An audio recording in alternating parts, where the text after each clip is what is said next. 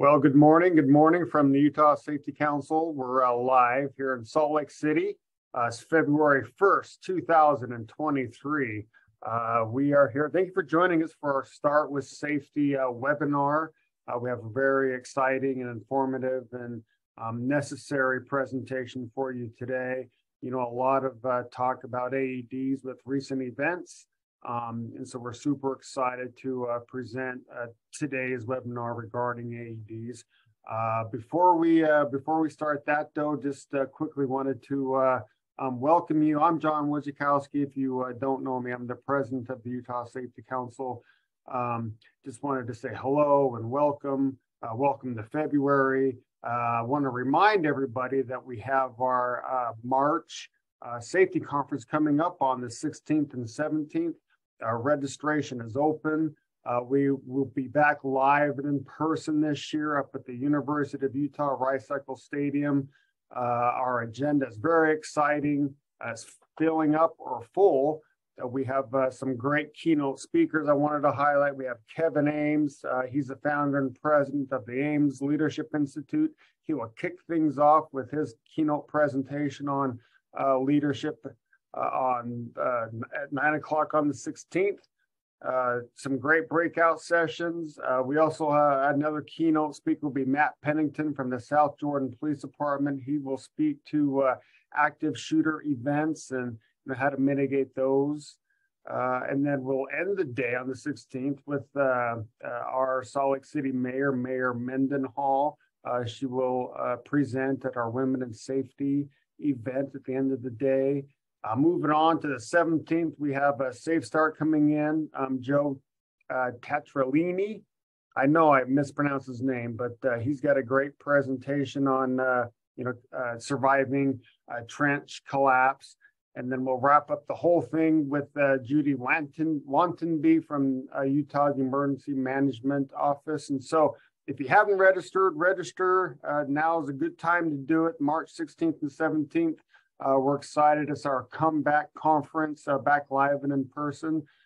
Uh, I also wanted to plug our podcast sponsored by the uh, Utah Labor Commission uh, titled Speaking Up for Safety.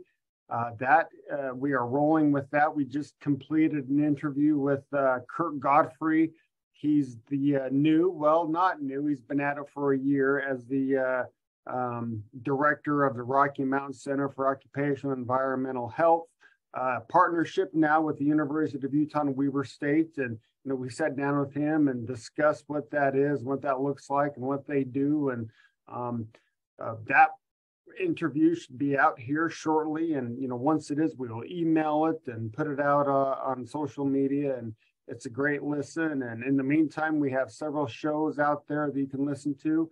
Um, all of that is linked on our website at the utahsafetycouncil.org. Um, there you can find on our website uh, all the classes and things that we're offering. And, and we're busy at the Safety Council these days now that we're post pandemic and a lot of the classes are live or in person, but we are continuing a lot of the, uh, the hybrid uh, Zoom classes as well. So lots of opportunities to uh, attend, you know, necessary and, and um, you know, needed safety training. So uh, I do want to plug our occupational safety essentials class. I know Brandy will talk about this more, but um, you know this is a great uh, opportunity for new safety managers or uh, uh safety managers or directors that have been around a minute. Good refresher or good introductory just to what we do at the uh, Utah Safety Council. Um, this is a free all day class. It includes lunch. Uh, the next one is coming up on the 13th of February. So uh, again, details on that are on our website, or you can reach out to us uh, by email at safety at utahsafetycouncil.org. Um, if you haven't, uh, on our website, you can also subscribe to our emails. Uh, we're still putting out our Safety Notes newsletter. Uh, we have a great one that just came out that kind of highlights uh, the good things that we did in 2023. Um, you know, a great summary of our Wish Award event that was last December at the uh, University of Utah. So uh, if you haven't seen it, go find it, uh, sign up for our email address or our email subscription and uh, go find safety notes. It's, uh, it's also posted on our website. So last thing is our annual awards. Last thing I wanted to mention is our annual awards. which will be in August of uh, this year, 2023. Just want to get everybody thinking about nominations, you know, as you wrap up your your OSHA logs for, uh, you know, 2022. Um, you know, here soon, we're going to start soliciting for uh, nominees for our Lifesaver, our annual Lifesaver Award, a Lifetime Achievement Awards, Individual Achievement and Safety. Uh, we have a couple of driving awards. And then, of course, uh, uh, you know, we and our board of directors will start looking at, uh, um, you know, the stats uh, for companies that want to apply for, you know, award of merits. And, you know, of course, uh, we also will also award uh, the award of honor. So anyway, annual awards coming up in August. start thinking about who we'd like to nominate and uh, you know stay tuned for uh, you know the call for nominees which will happen uh, here in a few weeks so with that i'm going to turn over to our vice president of operations brandon crockett to give us some uh, membership and other updates going on in the safety council. And then uh, uh, we'll hear from everybody at the safety council as we move into our presentation today. So go ahead brandy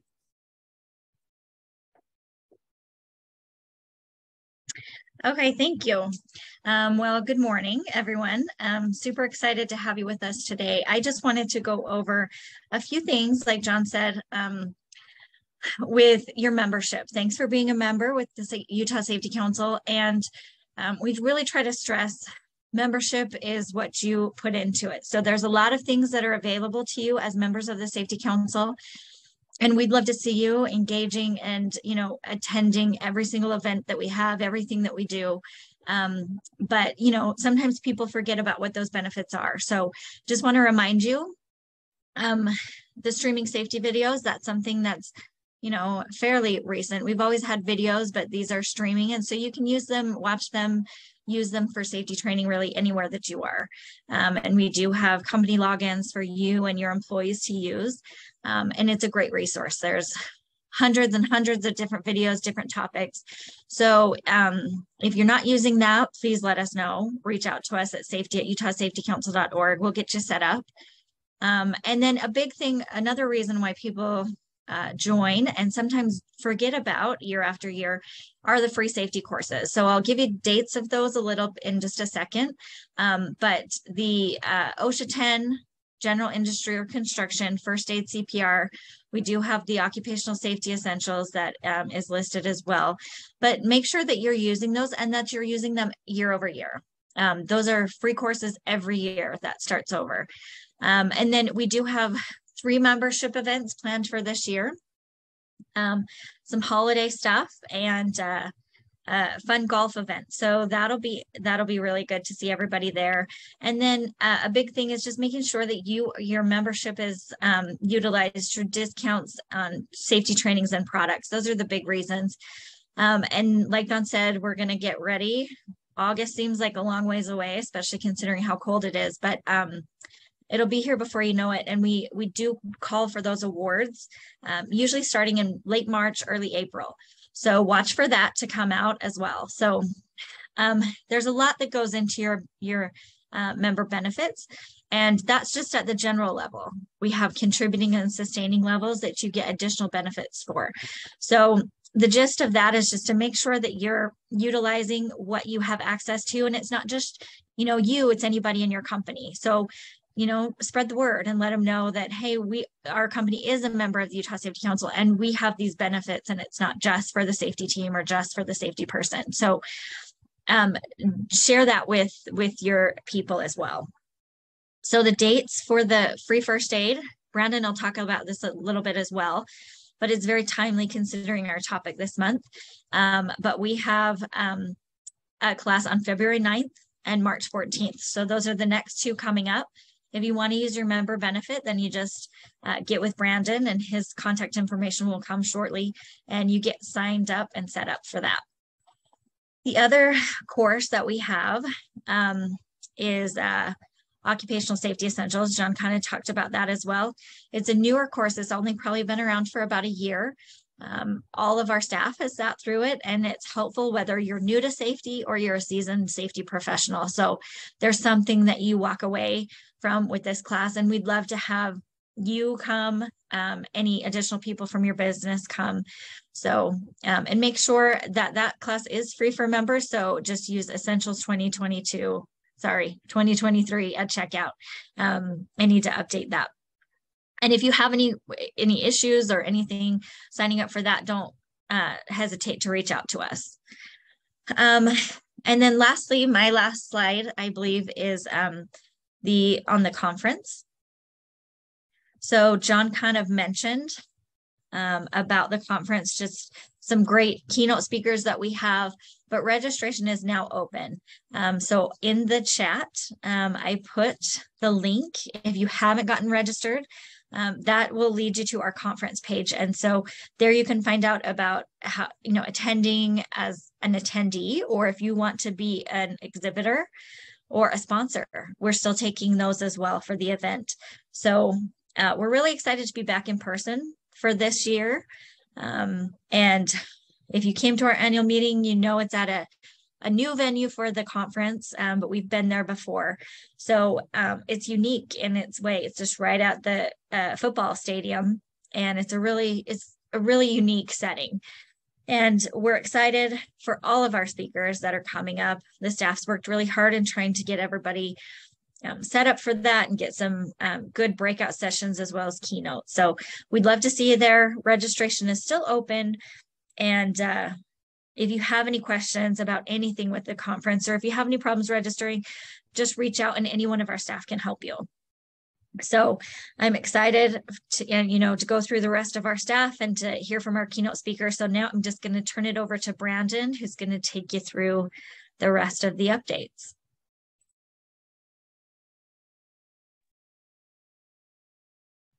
Welcome, everybody. Uh, we appreciate you being here. Um, we've got a great topic this month with an excellent person to speak on it.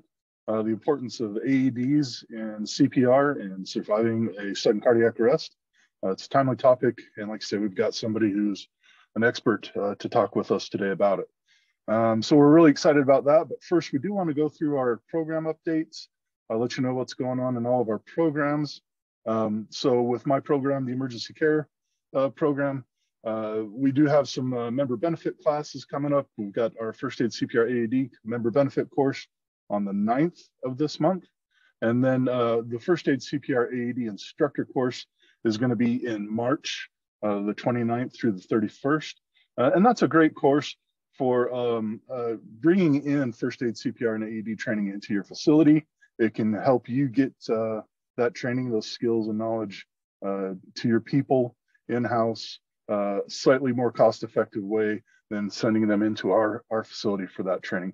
Uh, so if that's something that could benefit you, uh, reach out to me with any questions you might have. Uh, some of the things that the emergency care program does have to offer, um, sales and rental of AEDs, uh, well, not rentals of AEDs, but AED trainers for your first aid CPR AED classes. But we do deal in sales of AEDs. Um, if you have questions, you need uh, assistance, don't hesitate to reach out to me. Contact information there on the screen.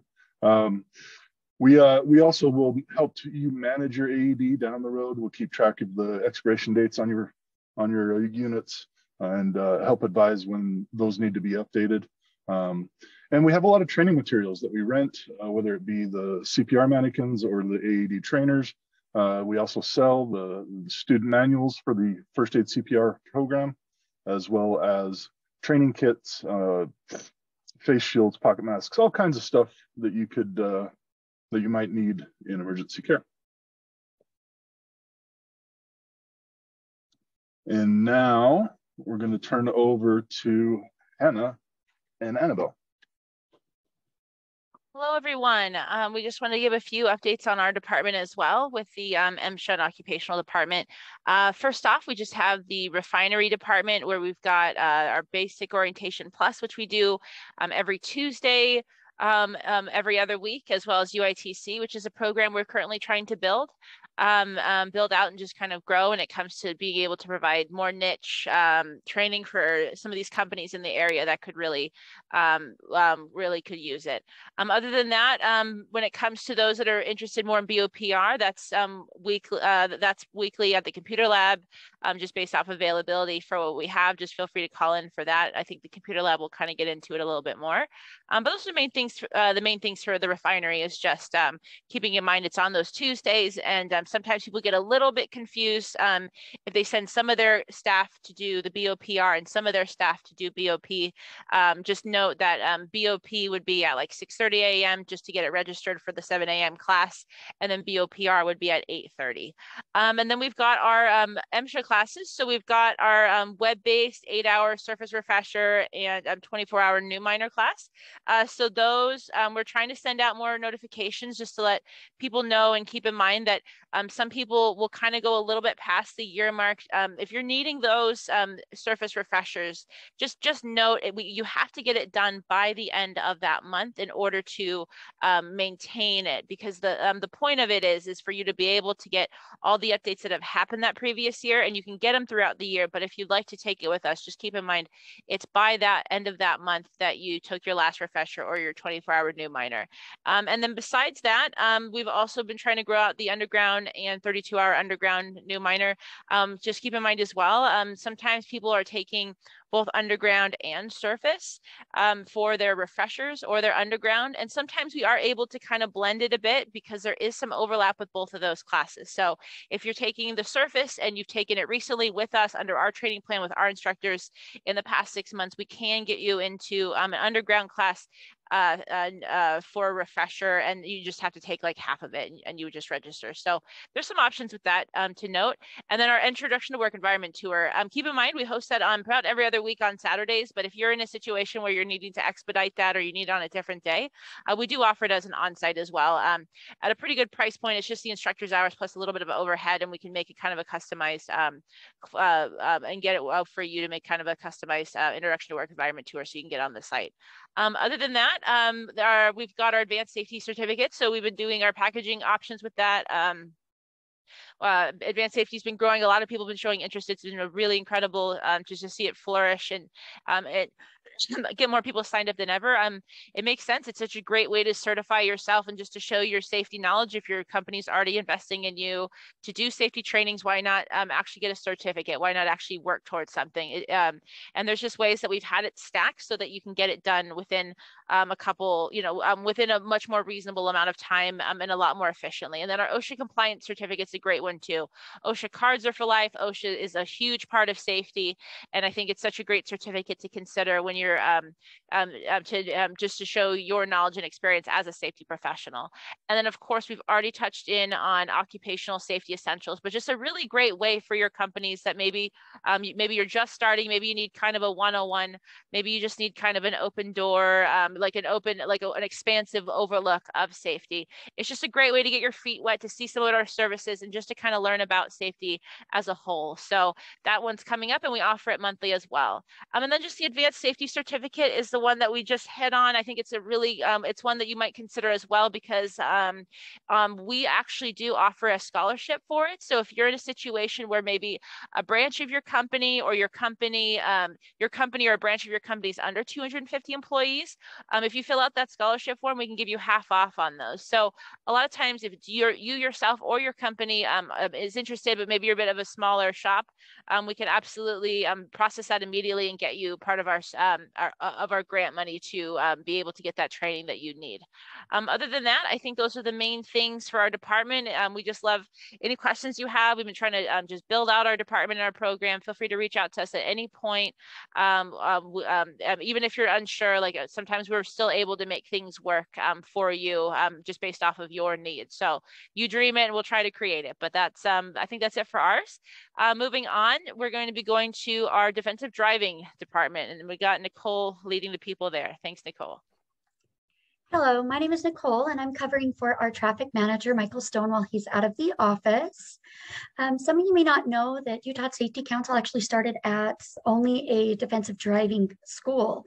So keep us in mind when you're sending your employees over for other trainings for any traffic needs, we can help them with that as well. Um, Here are a list of our classes in February. We do have different formats that these classes are offered in. So if you look at February 6th, that would be an in-person course. Our in-person courses are instructor-led and they are a four-hour course. If you're looking for an instructor-led course, but more in the comfort of your own home, we do offer a Zoom. Um, with our Zoom courses, again, they are instructor-led and it is the four-hour course as well. With our Zoom and our in-person courses, we offer those in Salt Lake, Logan, Layton, Lehi, and Washington City. We also offer an online course. This is geared more to those that want to do it at their own pace. If they're not able to sit down for a full four hours and do it, you can do it, you know, an hour here and there and do that at your own pace. Another great option we do have available is on-site. So if you're wanting to send a few employees and get them registered for this course, we can actually schedule an on-site and then you can utilize your membership benefits to get that special pricing on that. If you'd like more information about our traffic courses, you can go ahead and visit us at utahsafetycouncil.org, or you can even reach out to Michael Stone. He will be back and be on this next month. So um, give us a call or reach out by email. And then I'm just going to go ahead and tell you a little bit about the lab. So Justin and I work together in our computer lab. Our computer lab is a geared towards web-based trainings. And so if you're needing to get some of those courses done, they're usually about a year, they expire within a year. So if you're needing to renew those, reach out to us. We can get you scheduled. We offer hundreds of different types of courses. So even if you're not sure if we offer the course, please reach out to us. We can look into it and see about getting it here in our facility. Um, one of the main courses that we do offer would be our basic orientation plus refresher. And we do have our labs open Monday through Friday from 8 to 4 However, please reach out to us before coming in so that we can make sure that the lab is not full or that it's not being utilized for other purposes. Um, if you want any more information on that, please feel free to reach out to me. My information is below and you can also reach out to Justin as well. I'll go ahead and turn you over to Brandon now and he'll go over some information about our guest speaker today.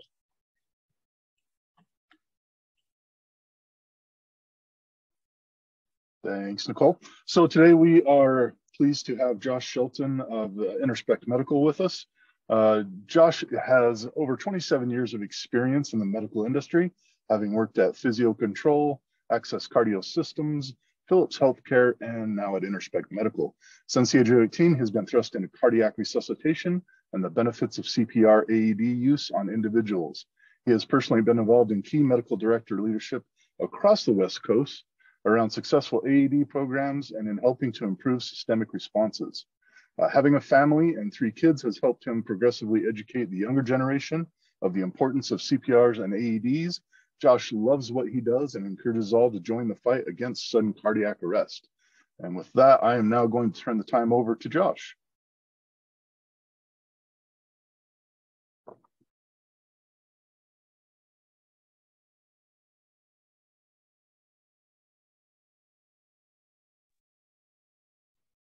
Thanks, Brandon. I appreciate that. I am always impressed by the, uh, you know, everything that the Utah Safety Council does. Uh, they've kind of got a, uh, a niche in everything, which is fantastic. Um, today, my focus is obviously going to be talking about the AEDs in the workplace. I think everyone's probably heard by now uh, or seen on TV uh, what has happened with some of the uh, the NFL players. And if you haven't been staying close to that. I, am going to give during this presentation, I'll give some more information um, to that extent so you can get some of the details. Uh, what I was planning to, on going through here was sudden cardiac arrest, which is also known as SCA. Uh, you know, when you call 911, what actually happens?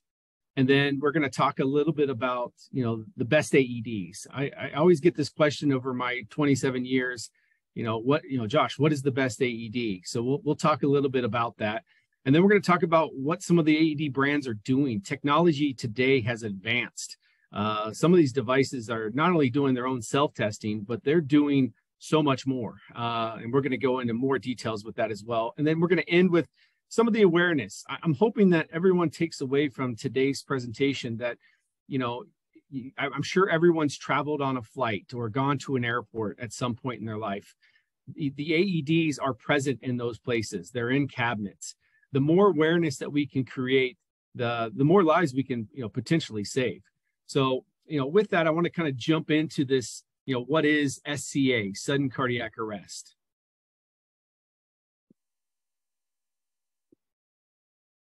So a lot of times I get this this question that comes up. People always ask, "Hey, Josh, you know, you know, what's a heart attack? You know, what's sudden cardiac arrest? Do they intermingle?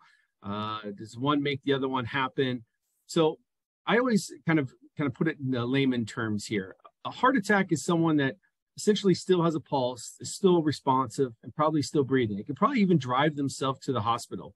Uh, I could be having a mild heart attack right now. My arm starts to get real tight. My back starts to kind of hurt, but I'm still breathing and I'm still conscious. Those are the two things. Sudden cardiac arrest is what, if, if anybody's been you know paying attention, is just like what happened to De- Damar Hamlin. Essentially, you're there for a second and then you stop talking and everything goes down and you're out cold. Uh, so what happens? No pulse, you're unresponsive, and you're not breathing. That's the difference. So I always kind of like to lay this on the line for people so they understand those two differences a heart attack can become sudden cardiac arrest. You know, if you you you, you kind of have those mild heart attack symptoms and you're kind of like, oh, no, I worked out today, no big deal, and you've delayed those for a couple days, that could eventually become a sudden cardiac arrest. But a sudden cardiac arrest can't become a heart attack. Once you're down, you're down. Um, and the only way to you know effectively get someone out of a sudden cardiac arrest is with an AED uh, an AED actually stands for Automated External Defibrillator, if you wanted to know. Uh, the reason why, um, you know, say automated is because all these devices will walk and talk you from the beginning to the end on what to do. You can't make a mistake. You can't trick it either. You can't press the shock button and say, I want to shock Jim. I don't like Jim. Uh, it will not let you. So the, the nice thing about AEDs, and that's why they're in the public, is that they're so easy to use. And and what you probably saw on you know on the field over uh, with the NFL football player Damar Hamlin is an AED was there, they shocked him, and they actually did CPR. So I always say if you have if you have an AED and you're doing decent CPR, we got a really good chance of survival. This is kind of what it looks like uh, with sudden cardiac arrest. We call it ventricular fibrillation. Uh, you can also uh, go into ventricular tachycardia those are kind of the two most common things that could happen. It's where your heart kind of starts racing. So a misconception that you always hear on TV is right, you have cardiac arrest, your heart stops. That's actually not true. Your heart starts to fibrillate. It is rapidly firing and the four chambers of the heart are uncoordinated. So it's trying to pump blood, but it can't. It is it's so uncoordinated that nothing's happening. So if we can't pump any blood, we can't get blood to our brain. So what happens? We go unconscious. So the key is is that when we're in that that fibrillation and we're sitting there rapidly firing, the only way to stop that electrical activity is with a shock. A shock actually stops that that that chaotic rhythm and what we're hoping will happen is the heart will essentially come back to a normal sinus rhythm. So the heart has its own electrical system. The key is for us is just to get them out of the chaos quickly so then we can have good CPR and we can keep all the limbs and everything alive. Uh, the big thing for me and understanding this is understanding kind of the the symptoms that you would see out there. So like I mentioned earlier, if you start to feel pain in your center of your back, your left arm starts to feel tight, your chest starts to feel like you've got a rock on it, um, you might start to be having a mild heart attack. That might be a time to drive yourself to the hospital because you don't want that to progress and become cardiac, uh, sudden cardiac arrest. So I've kind of mentioned it a couple times. I've talked about the NFL player. The reason I keep bringing this up because it's the biggest awareness I've seen in years. Um, you know, this is called commotio cordis, you guys. Uh, if you've never seen or heard of commotio cordis, what that basically is is it's a it's a blunt trauma to your chest and it's right when your heart is depolarizing so right when the heart rhythm's going down. And when that happens it allows the heart to skip a beat. And i i, hate to kind of mention this to everyone but you know our our, our heartbeat you know beats 100000 times a day. But if it skips once you can go into cardiac arrest. It can happen anytime any place and to anyone. Uh, so I always mention this to people because they, they always we have these misconceptions. Oh, no, it's not going to be me you know, I'm in great shape. I'm a marathon runner. I'm I'm I'm great. Um, we have kids from ages of 13 to 18, and the last, I think it's the last eight years, uh, that average has been about 9,000 kids have died of sudden cardiac arrest. 9,000. Think of that.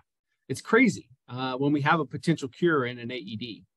Uh, so when you're thinking about AED, automated external defibrillator, and you're thinking about the usage of that device, I, I just want to really make this clear. It is for the lay person, the untrained user. It's designed for us in the public. You cannot make, make a mistake. If you had a device, all you would have to do is turn it on and it starts walking and talking you through from beginning to end. Um, I put down here on the thing, if you knew, no one knew what CPR stood for, which is cardiopulmonary resuscitation. You know, the key with an AED and CPR, why those two in tandem make great success is because you think about it, the heart and your body, it's electrical and it's plumbing, right? We've got to stop electrical chaos to allow it to reboot. And what we're doing when that heart's kind of faintly rebooting is we're trying with CPR, we're trying to get the body to push more blood out into all the limbs to keep the body alive and obviously the brain. So I mentioned this. I hopefully this graphic gives you a real good idea. I'm uh, I'm based out of Las Vegas, Nevada. I can tell you guys, you know, I get it all the time. People will say, "Ah, Josh, you know, you know, it's not going to happen to me. This is not going to, never going to happen. You know, I I work out, I eat eat healthy, this and that. Uh, I will always point to all the people I've met over my years, from from 13 year olds to 18 year olds that have been in my uh, you know, when I was working for the manufacturer, we actually had you know presentations from uh, kids that have actually had sudden cardiac arrest that actually survived because of an AED, and then later they found out that those people needed an, an implantable, so an, essentially an AED internally in their body. Um, the the sudden cardiac arrest is a is a is a big meaning. He does not care who you are. It will come after male, female, young, old uh, it does not have any any stereotypes. So the key is is being able to recognize symptoms. If we can recognize symptoms, we got a better chance. Now, I will mention this because I, I, I always like to. Does drinking, smoking, uh, being overweight, and all that help? No, it doesn't help. But the key is is that we there's no been there's no diagnostic that has told us that you know those are keys to you know causing sudden cardiac arrest. Uh, there have been, if you ever do a Google chat or go on YouTube, you can click in AED saves, and you will see from soccer players to kids playing volleyball that are literally standing there for one second and then just go completely down and hit their heads right on the ground, smack. Um, and they're in fantastic shape. So I, I just want to make sure everyone is, you know, really hammering this in your head that this thing is it has been around for years. It is something that uh, the only way to to cure it, it essentially is with a shock quickly and with decent CPR. So I kind of I've talked about this with this slide with the heart attack and the plumbing. I'm just going to throw this up because I wanted people to kind of see some of the you know different symptoms to kind of look out for. Um, these are things that we're you know we're always trying to address when in, in my field we're always trying to address it with uh, from the schools that we that we deal with to the casinos to the airports to the uh, you know the ones I you know, work with like Allegiant Air uh, and even like the MGM. So the, the key is is here that the more awareness that we provide, the better chance that we have having someone actually do something and help and actually save a life. This is a great graphic here. Um, and I hope this really gets all the points across. So if you take house fires, cancer, automobile, automobile accidents, and you total all those up, that doesn't even come close to what sudden cardiac arrest does every single year. It kill, kills an average of 365,000 people to upwards of 425,000 because it obviously changes every year. But the key is is that you know that is a very very high number and we have a potential cure. We just got to get people to take it. Uh, the, the key is, is right now, the national success rate from sudden cardiac arrest, this should probably disappoint everybody. It's 8%. When I started, it was five. And I've been doing this 27 years. We've been putting AEDs everywhere. We've been trying to train, educate, just tells you that there's just so many other places that we haven't gotten to, uh, you know, out, out in the public the key is is that that's typically where this is happening and obviously people you know whether you're at your home or for instance, you're at a casino and uh, you're sleeping in the bed. I, I, will bring this up as an example. Uh, I get a lot of calls from uh, my customer, the MGM, where we've had um, we've had deaths actually up in the rooms, and loved ones that were sleeping next to it. You know that that person uh, said, "No, no, no, they were snoring. They were snoring." But people don't realize is sometimes when that happens, when you think it's a snore, it's actually not. It's actually what we call the last breath. Uh, it's where your lungs are being squeezed and the last breath is coming out of your body. Uh, so they've probably gone into sudden cardiac arrest. It is something that just happens. There's, you know, there's no stopping it uh, outside of once they go into that cardiac arrest, noticing it quick and then implementing an AED. This one is uh, this slide is uh, very particular to me because you can imagine you know, 27 years of doing this. Uh, all the people I've talked to in regards to you know responses.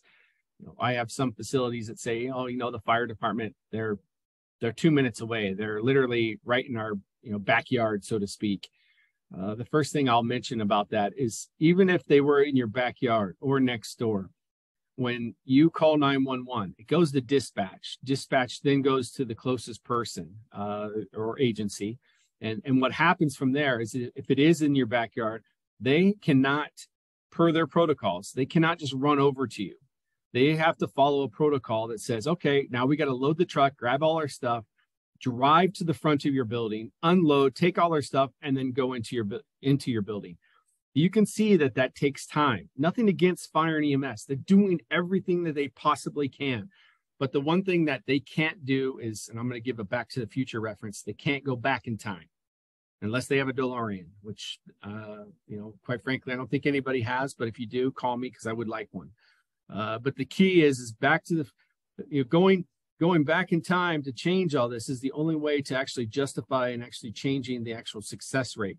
The average time on a 911 call is about 10.6 minutes.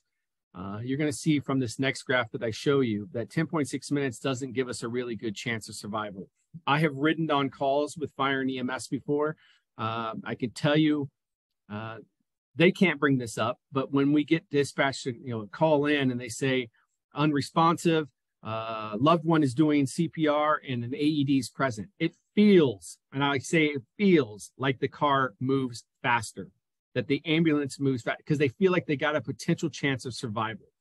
Uh, when we get the dispatch call where it says unresponsive, loved one doesn't feel comfortable doing CPR, no AED present. I can tell you it's a it's somewhat of a downer because a lot of those guys have been on those calls and they know what they're going to be doing, which is CPR for a long period of time and trying to get someone out of a rhythm that uh, is probably faint. Uh, so the, the key for us is one, getting AEDs out there, and two, cutting this time down so we get better success. This is it right here. You have sudden cardiac arrest. Imagine having a stopwatch in your hand and clicking it. If you can respond in under three minutes, for instance, you have an AED in your facility and you can respond in under three minutes and deliver a shock, look at your chances of survival almost 75% or better. It's just tremendous. If we don't have an AED and we're not even doing uh, CPR and we're just waiting for fire and EMS, look at it 10 minutes. We got less than 10% chance. So, in all honesty, I always tell people, you know, having an AED on site is the best thing you could do because you're giving someone a chance. It may not save their life, but it will give them the best opportunity to be saved. So I mentioned earlier about uh, the, the best AED. I get smiling about this because it's funny. Uh, I we, we we got all the AEDs out there, and there's probably ten different versions that you can get, and I will show a picture of them all so you guys can see. But for me, because I know it's time related with sudden cardiac arrest, I can tell you for me, it's always the closest one to me. I don't care what brand, what it is. If it can defib- you know, defibrillate and do a shock, that's the one I want because I know that time is the only big impact here. If I can get an AED on to me, my chest faster than I could any other one, that's the one I want. Um, the other one is AEDs obviously save lives. I, I try to tell people this all the time. If you're buying an AED for your facility, the one thing you should also think about, especially now, Uh, that, that's great. It's fantastic to have one in your facility. What do you have at your home? What are we doing to protect our families that do other things or do activities? I have carried an AED in my car for, oh man, for the almost the full length of 27 years. I think I started probably, I probably have had it for at least 24. And I will tell you, I've deployed my device three times uh, and we've had two saves. Um, the key is with these devices is they make a difference. Now, I think about that three deployments in you know, over a 27 year period. I think to myself, wow, that's not that many. It's not, but I think about those people that that were involved in those instances. If they didn't have me around, or if I didn't have that device, what would have what would have been like? Now, I've also deployed my device many other times where it wasn't used for uh, sudden cardiac arrest, but I still brought it out. My uh, my daughter plays flag football here in Las Vegas. Two girls had collided, hit heads. One was you know conscious and you know was you know, talking to us. The other one was not, and I didn't see too much movement. I ran and grabbed my AED, and that was the first thing I think of. I got to be there just in case something happens. Um, and luckily, you know, she started mumbling, started talking to us, started coming through. The other one was when I was on a freeway and uh, a, a, truck had actually tipped in front of me, and the, I was trying to get the guy out of the car. And I can just tell you there, I, first thing I went for is my, in my car was a tire iron to break his glass to pull him out because I couldn't climb to the top of it. And what I found in my car was my AED. And I said, well, these things are built to be indestructible. So first thing I did is, well, let's do the test. So I took it, smashed the glass, got him out, and pulled him out. Um, so there's other instances where an AED has been very, very helpful. Now, being connected to the Safety Council, I, I can tell you guys they do they do a gambit of things. Uh, but you know, the AEDs is a big portion as well you know they have access to all all the devices new and certified pre-owned as well. Um, I, what i'm hoping from from this presentation is you start to you feel the little bit of my energy kind of reflecting on you which is you know we got to make a difference. I mean there's too much stuff going on in the world where aeds i've been you know we've been talking about this since the 80s 1980s and now we're in 2023 these things should be everywhere and everyone should know what they do and how they do it. Um, I, I, personally believe that they they make a difference in a lot of people's lives and we could probably line up a lot of a lot of young ones uh, from that age from 13 to 18 where an aed was deployed shocked and got them back. And if they didn't have it they wouldn't be here today. So these are kind of the manufacturers. You got philips uh, zoll medical who now owns cardiac science. They purchased them uh, Stryker, who now owns Physio Control, my old company, and uh, they also own HeartSine. And then there's Defib Tech. Those are kind of your players in the AED world. There are a couple newer ones that are coming out. Um, you know, some that are going to be, you know, a, a, little bit different. The key is, is that you know, once again, the the best AED is the closest one. Here is the picture of many of the different devices. Now, I'll get back to it and I'm going to keep repeating it because I like to try to hammer home points. If one of these are in my office and I went down, I mean, that's the one that wants to be used. It doesn't matter which one it is. As long as one of them's being deployed uh, and actually doing defibrillation on me, that's what I need. All these devices are successful, even the older ones. They they can still manage to defibrillate and shock. The key is, is obviously if you see something, you know, do something. Uh, it's very similar to what we hear in the airport. If you see something, say something. Uh, you know, AEDs, you can't harm them. I can't sit there and press a shock button right there on the, one of those devices and trick it and say, no, no, no, let's shock them. Don't like them. Don't like them. It will not defibrillate. It will only shock someone that needs it. So once those pads are on the chest, uh, it's going to do an analysis and determine if they need it. And if it doesn't, it's going to coach you on CPR. Now, how terrific is that? So I, I mentioned um, the smart AEDs. What I can tell you on, you know, these these devices are some of the the newer technology that's come out. So all AEDs have a function where they're doing their own self test self testing. There is it's low maintenance. You don't have to do much to these. If there's a pad and a battery, usually those have expiration dates. The safety council track those, alert you prior to, so you're always staying in the green, meaning green is good. Uh, but there are some newer devices that now what they'll do is they're commuting through Wi-Fi, and it's something that you can log into your computer, and it actually will tell you things are good. instead of having to walk by it. So that's some of the technology that's coming that uh, essentially people are looking for. Because if you think about it, during the COVID era, what happened? All of us kind of started working at home. So we didn't have eyes on devices. So what the manufacturer started to, to do was to create technology that would allow us functions where if we have smaller teams to manage a device, uh, then we want to, you know, and they have 20 sites. I want to have a device that can be, I could log in my computer and I could see all 20 devices in the green saying pads and batteries are good. Uh, and that's the best thing ever. Most devices, a pad has either a two to a three year expiration and a battery, uh, typically a four year expiration installed.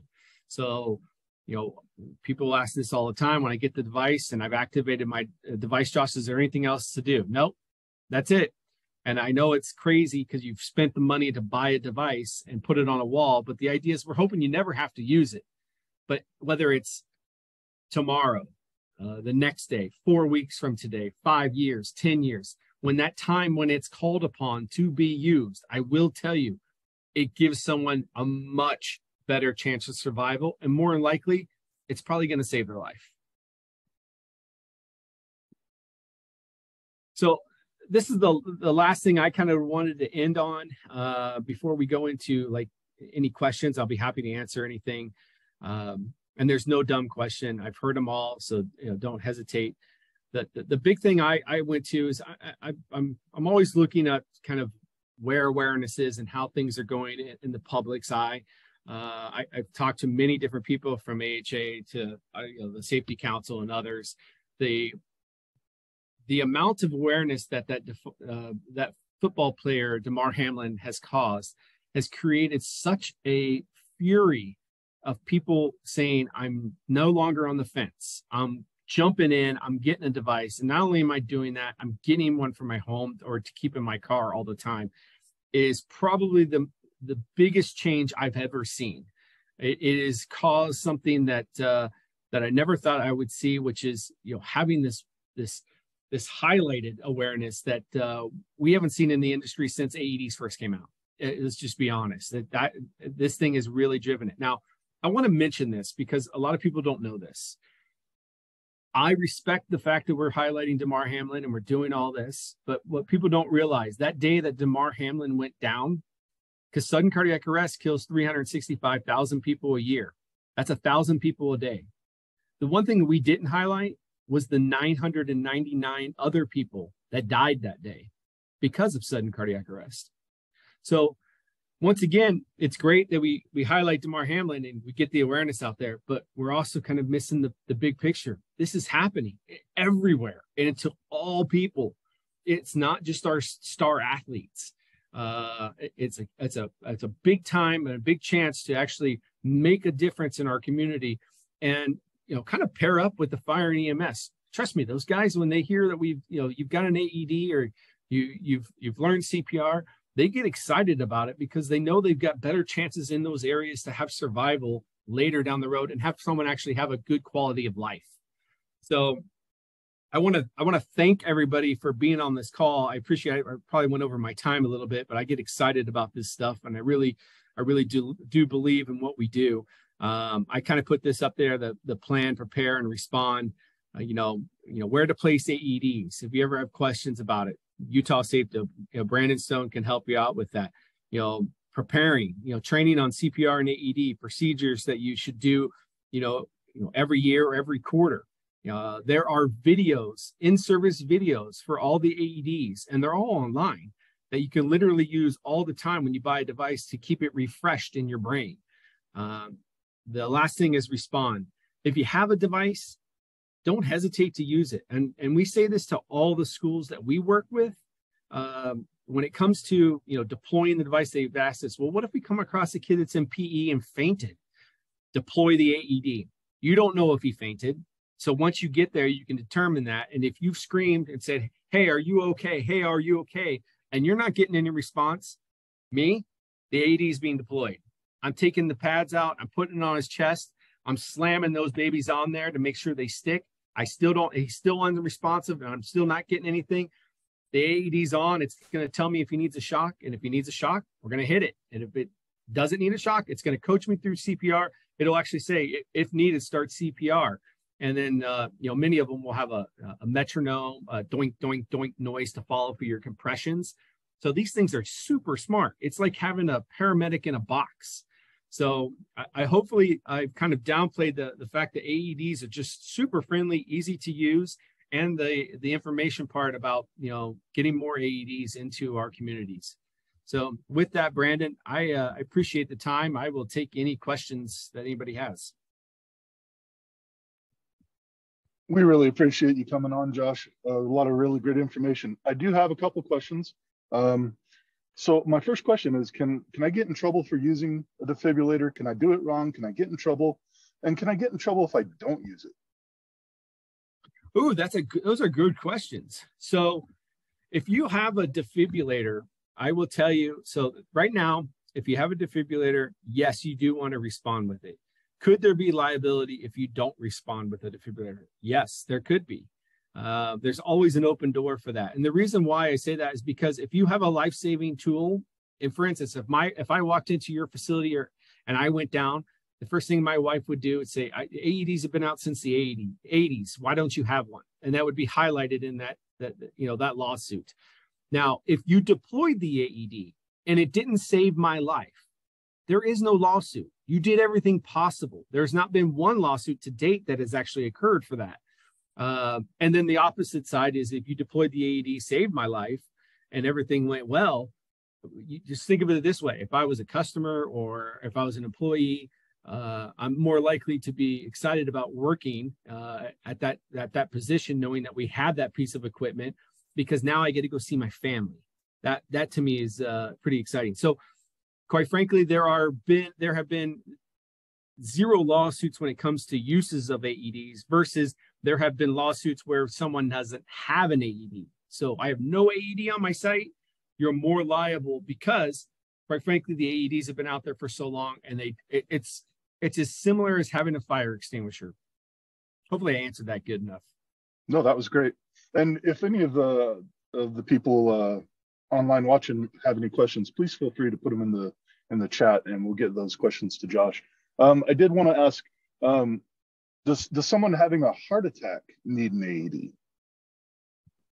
Great question. Um, could you? I mean, and I've heard I've heard this many times. So if I had my device and I was having a mild heart attack, I might hook it up to me. I probably would while I was driving myself to the hospital. And the reason why is because I'd want it to, you know, analyze. Now, I'm gonna I'm gonna step back there. I'm probably not to drive myself. Probably have my wife drive. So if I do go in, I, we don't crash the car. Um, if I do have a sudden cardiac arrest. So the key is is that I would probably hook it up just to monitor me while I'm going to the hospital. And then once I get there, obviously I could take it off. But I, I would want to be able to protect myself just in case. Because remember, it's only going to shock if it needs to. Outstanding. Appreciate that. Um, we have had a request. Uh, would you be comfortable sharing your slides with one of our attendees or oh, me yeah. sharing them? Yeah, Brandon, feel all the slides, feel free to. So, I mean, that's, it's open knowledge. And I, I'll just, uh, I'll mention this too. If you got, if anyone's ever, you know, want to get more details and the funnest thing you could do is, you know, you want to use Google to your advantage type into Google AED and saves or AED law enforcement or AED in uh, public, you will see a laundry list of links come up from not only saves from police officers to schools to gyms. It is it is probably one of the most inspiring thing. And then uh, because you, you know, typically we're seeing more more saves than we are uh, you know deaths. And the, the key is that this is something that once again creates awareness we really appreciate your time, Josh. It's uh, it's been terrific. Thank you very much. Yep, thank you. I appreciate it. Uh, with that, um, we're going to go ahead and wrap up uh, this uh, month's Start with Safety. Uh, just uh, a quick reminder that uh, we'll be back next month, March 1st, with Robert Gardner. he'll be talking about the cost of safety. so make sure to tune in for that. Um, and uh, yeah, if nobody has any questions, we'll see you next month. Thank you very much.